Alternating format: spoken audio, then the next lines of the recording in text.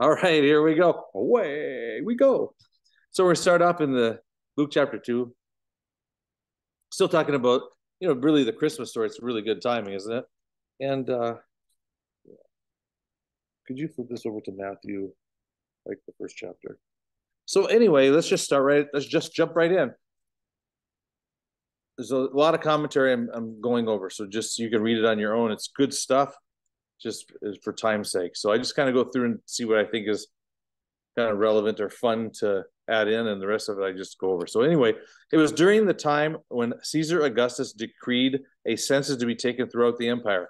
And I just want to make a quick comment. The first time I went to Israel, Israel, I was standing outside the old city of the wall, and I thought to myself, isn't it wild that somebody that God spoke to somebody over in Rome to do a census that caused Mary and Joseph have to come all go all the way down from uh, Nazareth to to Bethlehem to have the Savior born, where the Savior is prophesied to be born. Is that cool? I mean, so God uses circumstances in our life, doesn't He? So don't disregard your circumstances. Sometimes God is getting you where He wants you to go by circumstance, and He got them to go because of a circumstance. He could have shown up like He did for other things. Now I want the Savior to be born in Bethlehem. So I want you guys to go out there and now he'll be born and then you can come back. He didn't. He used a circumstance that drew them down to the city of David so he would be born in the city that the Messiah was supposed to be born.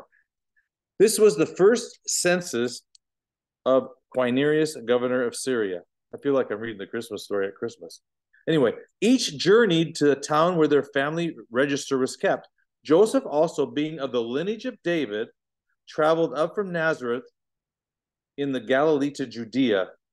He had to register in Bethlehem, where David was born. And if you've been to Israel, Nazareth is in the north, Judea is in the south. Nazareth is bordering the Jezreel Valley, and actually the city of, Megiddo, which is where they get Ha Megiddo, Armageddon, is just kind of right there. It's Har Mountain of Megiddo. So the, Megiddo is the town. It was a trade town. Just just interesting fact.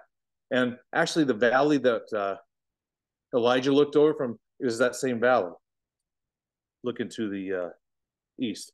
So, an interesting fact is now think about Joseph. He's the lineage of the king, but yet he's a carpenter up in Nazareth. So, of course, David had a lot of wives, so he probably had a lot of children.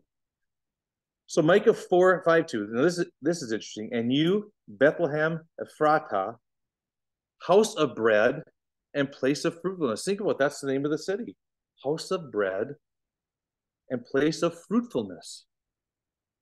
Here, the Messiah is the bread of life. He's coming out of the house of bread, and he is the fruitful one. The least among the families of Judah, out of you one will come to me who is to be the ruler of Israel, whose going out has been proposed from time past from the eternal days. 1 Samuel 17 12. Now David was the eighth son of an Ephrathite of Bethlehem in Judah named Jesse. The number eight is the number of new beginnings, resurrection, regeneration. Isn't it interesting that they get circumcised on the eighth day? So it's new beginnings, resurrections, and regeneration through gematria, like counting the letter values of the Greek transliteration of Jesus' name amounts to 888. Now, the last paragraph about Jesse's name, the very small, very last paragraph, or maybe it's not the last paragraph, depends on what you're looking at. Yeah, before 2 5, it says, also hidden. There's a lot of beautiful things about Jesse's name, but I, I just want to comment on, or read the last bit of it. it says, also hidden in the name of Jesus, or Jesse, is the prophetic picture of the incarnation. Isn't this interesting? Hidden in his name, in the picture name of, of is, excuse me, the prophetic picture of the incarnation. Yahweh embracing man in his name. Yahweh embracing man. The word for man is Ish and woman is Isha. Breath sound Ha. Thus, Jesse also includes the Yad or Jad, I'm sure it's Yad because uh, J's usually silent, connecting Yahweh with Ish, man. Yahweh, the incarnate man. Isn't that interesting? Yahweh, the incarnate man. Okay, verse 2, 5 together with his wife Mary, who was well already well advanced in her pregnancy. And then uh, Matthew uh, 124 says, When Joseph woke up, he did what the angel of the Lord had commanded him to do.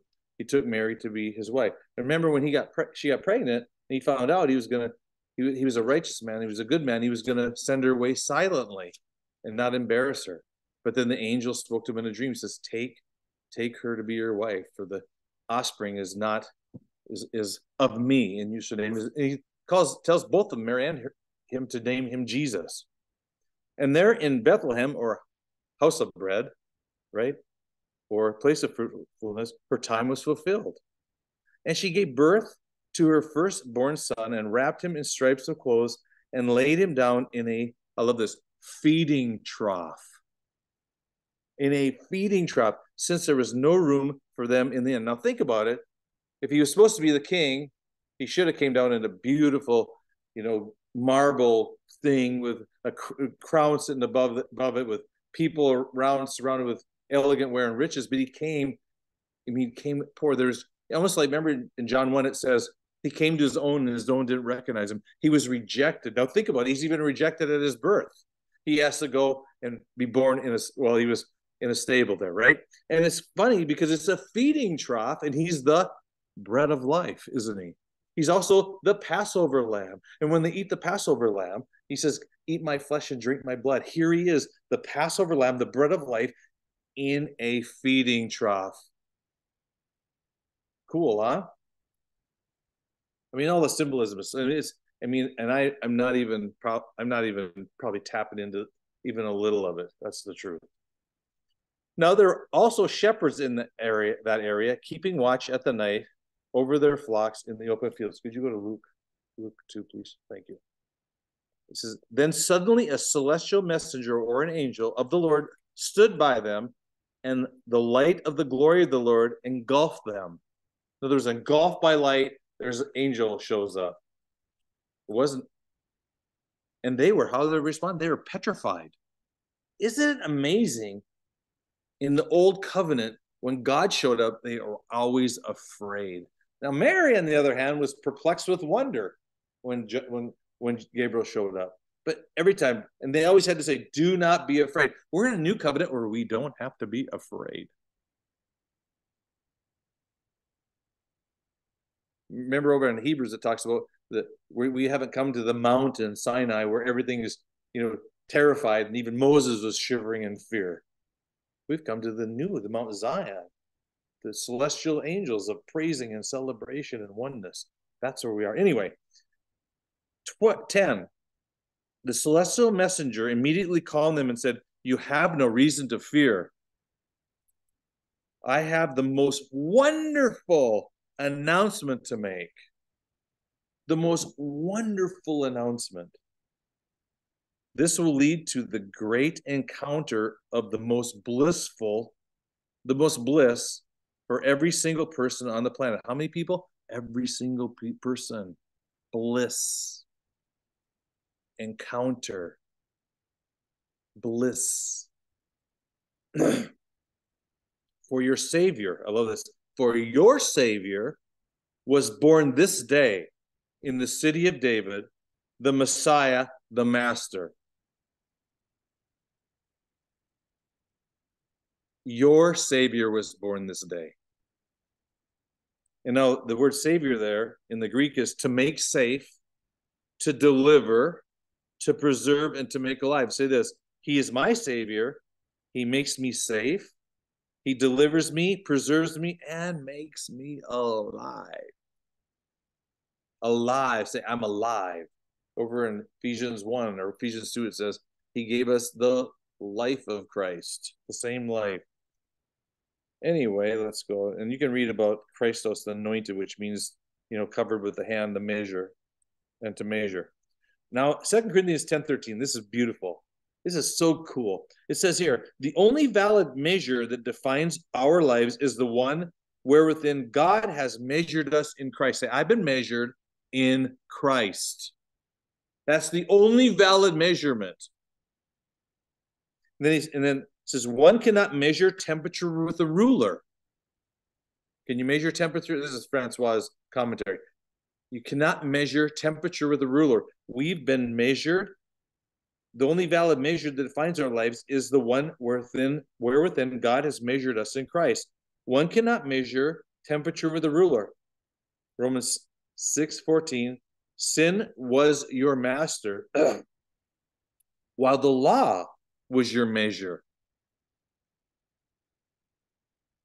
Now, grace rules. Law is not your measure anymore. Grace rules. The law revealed your slavery to sin. Now, grace reveals your freedom from it. Say, I am free from sin. Grace reveals that to me.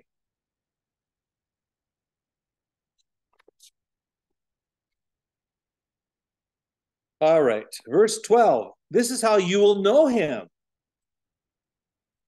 Luke 1. You will find a little baby wrapped in strips of clothes and lying in a feeding trough. Strips of clothes kind of makes when I think about the strips of clothes, it reminds me almost of the crucifixion. But you, you'll find him in a feeding trough. The the the moment, the next moment, the heavenly host of multitudes of celestial messengers joined and erupted into accolades of praise telling the God story. Now think about this. I just got to comment the rabbit trail real quick is about, you know, everybody says, praise the Lord, praise the Lord, brother, praise the Lord. But, you know, praising is what? The word anion, the story of tribute and honor. It's telling a story of tribute and honor. It's telling God what he's done and what he's accomplished. That's praising him, who he is. God's highest and gr- grandest intention. Say God's highest and his grandest.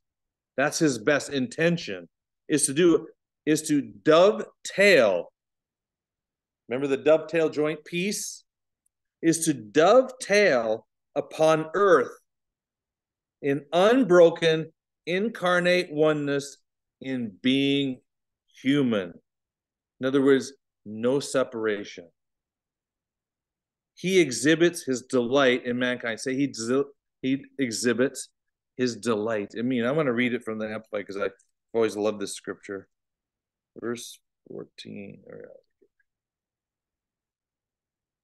Because it's, it's so telling. When it says, the angels saying, listen, glory to God in the highest, and on earth, peace. And peace isn't like, um, peace is a union of friendship. No inferiority, guilt, condemnation, oneness with Father. That's what it is, a dovetail joint. And peace among men, I love this, with whom he is well pleased. Say this, he is well pleased with me. What did anybody do to get well pleased? He says, with man. With men, I am men. He's talking about men and women, men as a species, in whom I am well pleased. We've done nothing, but he, nothing that would, you know, if we were doing our works that would warrant being well pleasing.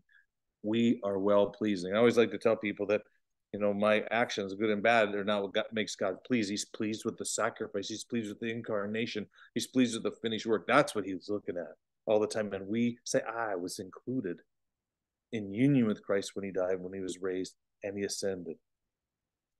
All right. Colossians. I'm just jumping down here to the commentary at the very end under 14. Colossians 1:19. I love this. God is fully at home in Christ, in him. Jesus exhibits God's happy delight to be human. Say this, God exhibits, or excuse me, Jesus exhibits God's happy de- delight to be living in me and through me. It's his happy delight. He's so happy to deliver to live in you. You're his favorite place to dwell. Wow. And he was there even before you knew it.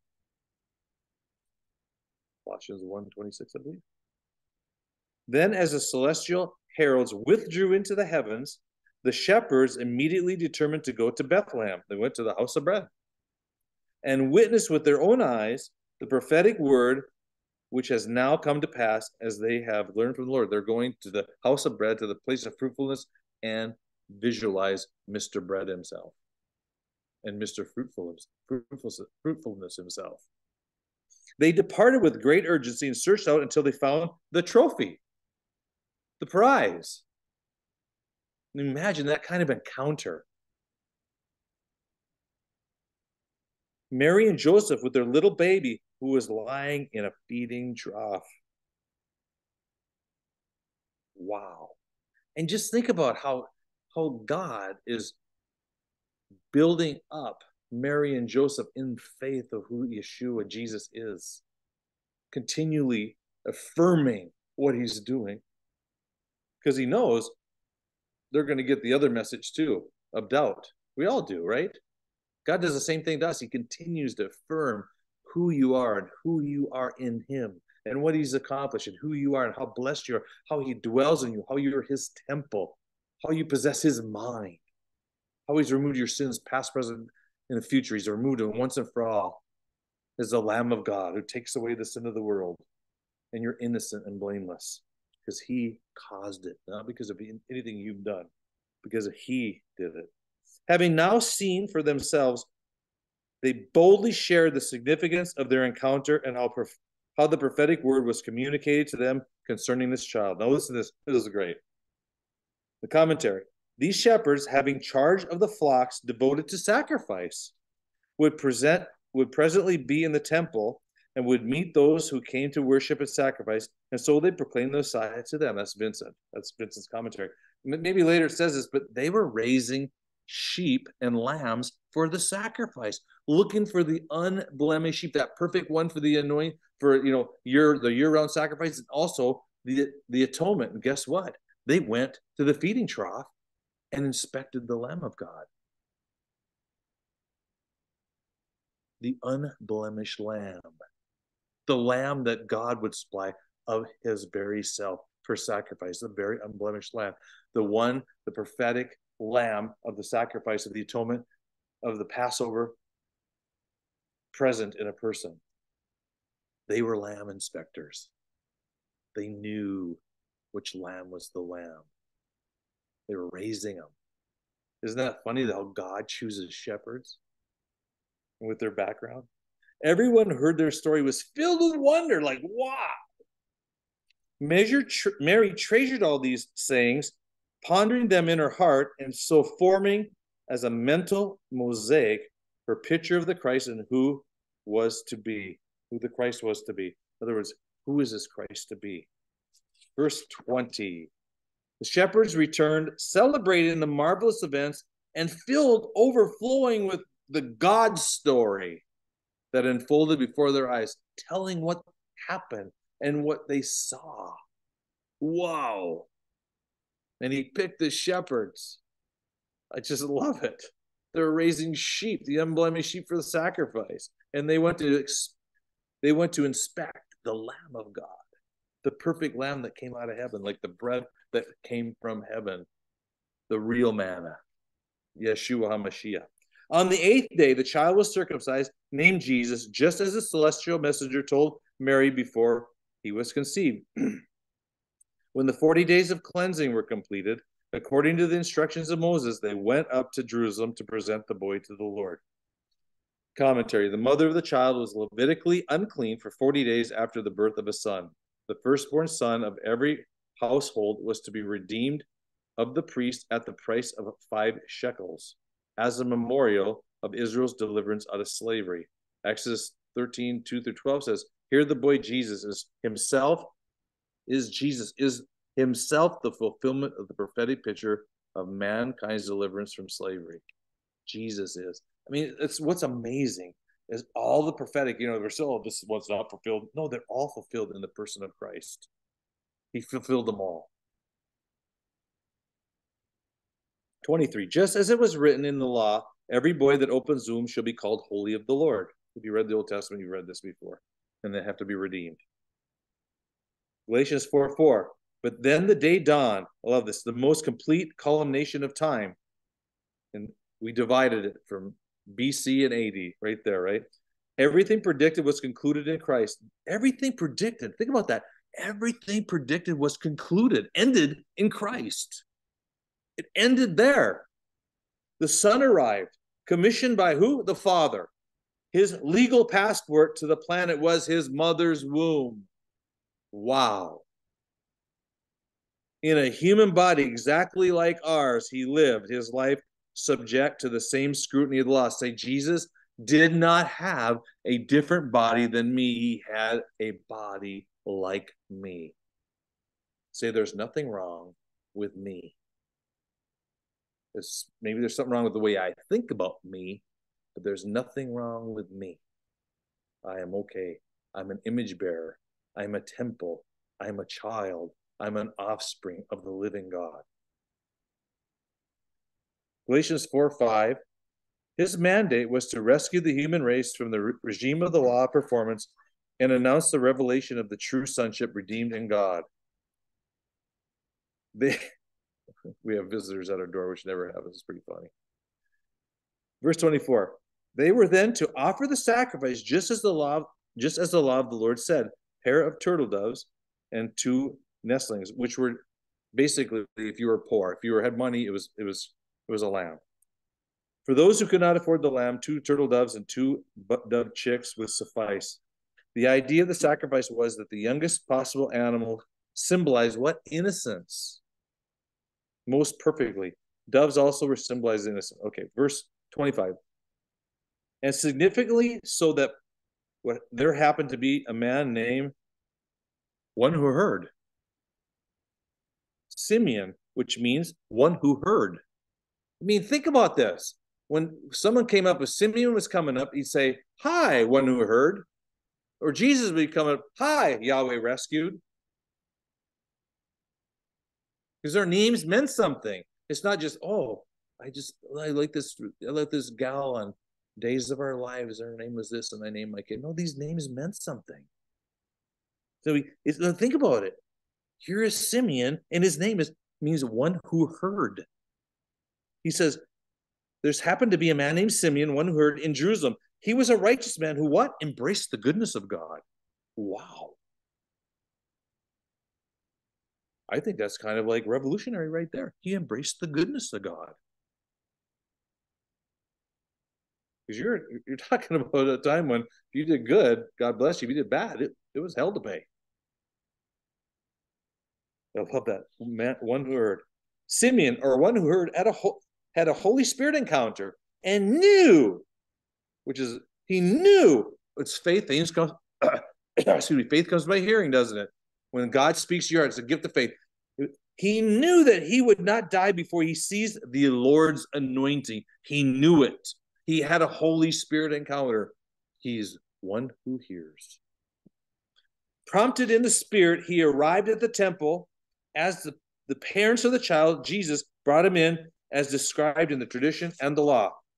And Simeon, one who heard, holding the little child in his arms, began to speak eloquent praises to God and said, My master, I am fully satisfied. You can now release your bondservant in peace. I am holding your incarnate word in my arms. Now, isn't it interesting? We get so hooked up and we see the word, the word, the Bible, the word, the word, word. And he's saying, Well, I am holding your incarnate word in my arms. I'm holding the word, the Logos, in my arms. The word is a person. The word is Christ. It's a person, it's the incarnate person it's a person that walks so we could see what God was really like. He's the very imprint, the very imprint of the living Father, so we could see who the Father really was.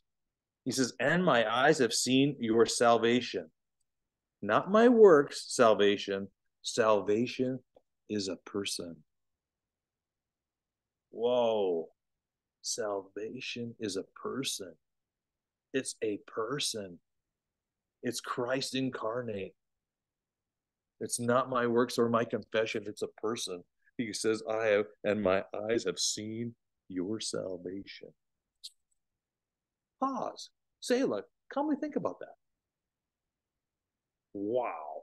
You know, you know, when we've been raised up in Christian and we're always so focused on the book and so focused, even though we know it's not by works, but we still do works and we still judge ourselves by what we do and we don't do. And here he says, My eyes have seen your salvation, the incarnation, the Savior of the world, the very salvation which prophetically and perfectly mirrors your face in every individual human life.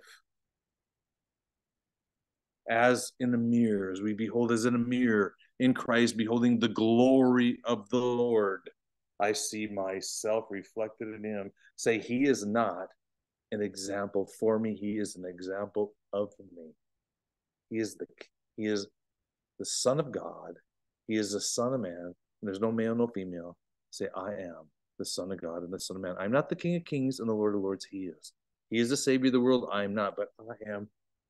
I'm an offspring. I'm a child, just like He is. I'm born of the Spirit, so are you, and born of the flesh, just like He was.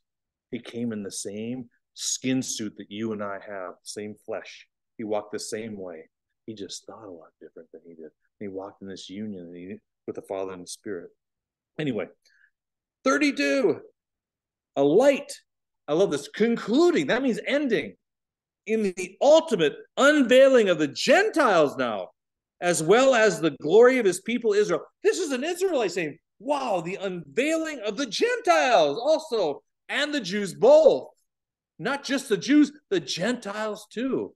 Over in Ephesians, it says what? He made the two hostile entities, uh, Gentiles and Jews, one, and he abolished the hostile dividing line caused by what? The law. He abolished the law. That was a hostile border between the two. He made the two one new person.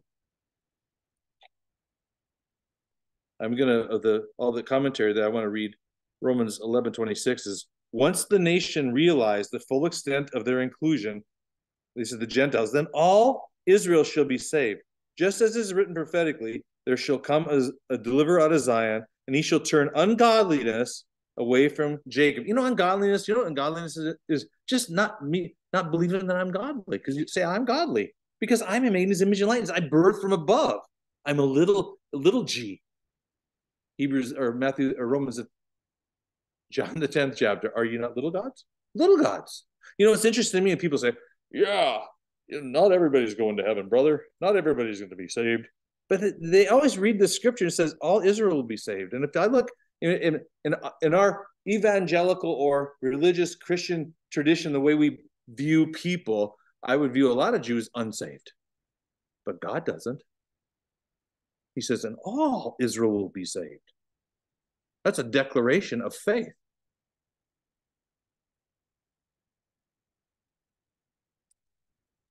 All right, verse 33 and his father and mother were awed by everything that was said about him. Wow. Are they having Holy Spirit encounters here? Are they having affirmation of the child that was predicted in the Old Testament, was prophetically proclaimed by the angel, now has been born, and now other people are coming in to affirm Mary and Joseph and who they're ten, who they're caring for. And Simeon, one who hears, celebrated them and said to his mother, Mary, Know that this child will, will be laid down for the destruction and resurrection again of Israel's multitudes, the destruction and the resurrection. This will be a symbolic sign of controversy, ultimately mirroring the genius of God. My ways are not your ways. My high, my ways are higher than your ways. His ways uh, the higher ways are by faith and by grace. Those that's the higher way. The law is not the higher way, that's the lower way. And Second Corinthians 5, he says, if one died for all, Paul says all died. Colossians 2:20, I and everybody else have been crucified with Christ. We no longer live. The life we live, we live by the faith of the Son of God, what God believes in Christ, the finished work. Simeon is not saying that some will fall and some will be raised he speaks about the falling and the rising of the same people. Verse 35. I wanted to get through Simeon to have a fresh start when we Anna the prophetess, but and the sword shall also pierce your own soul. Then the reasonings and the dialogues and the doubtful disputes of the multitudes of the hearts will be uncovered. Now, you always hear that, you know, Mary, the sword was she felt bad and her son was crucified and he had all this stuff. I know she felt bad, but I don't think that was the sword. I'm going to write down here, jump over the first paragraph in the in the commentary where it says one, it says the word Rhomphaia, and I'm not I don't know how to speak Greek, but it says a large, long sword. This sword is used six times in Revelations. In the Greek Septuagint, it is used for the sword of the Lord. It is an exaggerated size to emphasize its symbolic use, pointing to the prophetic incarnate word that would pierce the veiled hearts of the masses and bring to light the revelation of the mystery of Christ in them. And then in the commentary goes to Hebrews 4:12, which I love this scripture. It is so awesome. The message spoken to us in Christ is a sword. It is the most life-giving and dynamic influence in us, cutting like a surgeon's scalpel, sharper than a soldier's uh, sword, piercing the deepest core of human conscience, piercing between soul and spirit what I believe about myself is contrary to what God believes about myself, or the spirit realm, what God believes about me by faith, not by the contradictions of what I can see, by what I cannot see, what God has done. To dividing soul and spirit, the sense realm versus the spirit realm. I love this. Ending the dominance of the sense realm. You want it ended and its neutralizing effect on the human spirit. In other words, the sense realm neutralizes the spirit realm. You're not, but the spirit, the word, remember it says, and I've, I've talked about this many times in the Bible studies, it's a message. The message spoke, the message God spoke to us as Christ is just a message. The incarnation, which is a person, is the most life giving and dynamic or powerful influence within us. It's a message. And go back to Galatians 3 oh, excuse me. Paul says, you know, you heard the message and this all happened, and now you're going to be perfected by the flesh. Just listen to the message. Marinate yourself in the message. Renew your mind with the message of what God believes to be true about you every day. It neutralizes the sense or the sense around the soul realm, and it makes the spirit now becomes the dominant force in your life. The scrutiny of the living sword logos detects every detects every possible disease, discerning the body's deepest secrets where joint and bone marrow meet, the deepest part of us. Now listen, the moment we cease, I love this. You got ready? Put up the little, what is it, the Spock ears. The moment we see for our own cease, the moment we cease from our own efforts to justify ourselves, by yielding to the integrity of the message that announces the genius and success of the cross, what happens? God's word is triggered into action. You want God's word to trigger into action? Quit trying to justify yourself. Just believe the integrity of what he's done. Faith. You know that, and there's millions of people justifying themselves, thinking they're going to get the word to go into action by doing this. And this exactly the opposite happens when God spoke to us in sonship, God living in you in the incarnation, in Christ first and now in you, radiates his image and likeness in our, our, say, my redeemed innocence. Now, listen this. I love this. The word powerfully penetrates and impacts our whole being, body, soul, spirit. I'm going to say, they say this. Repeat after me. Repeat that, por favor. The word, which is the incarnation, the message spoken Christ, powerfully penetrates and impacts my whole being. My body, my physical body, my soul and my spirit. It changes me, it heals me, delivers me just by simply believing the message of the incarnation and the finished work of the cross. It is that simple.